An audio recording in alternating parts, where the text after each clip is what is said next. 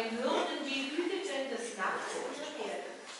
Und siehe, des Herrn Engel trat zu ihnen, und die Klarheit des Herrn leuchtete um sie, und sie fürchteten sich sehr. Und der Engel sprach zu ihnen,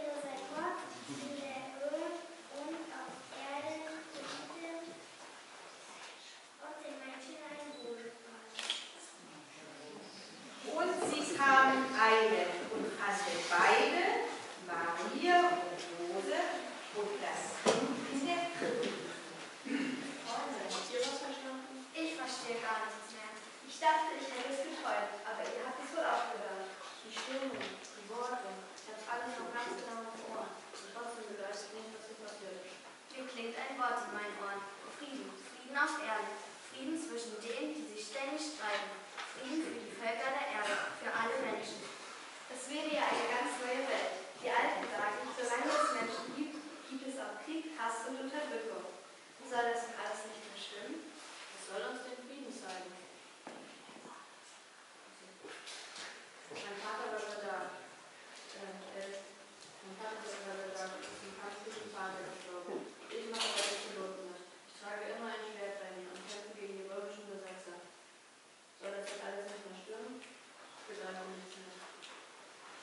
Fürchtet euch nicht, sagte die Stimme. Das geht mir nicht aus dem Sinn.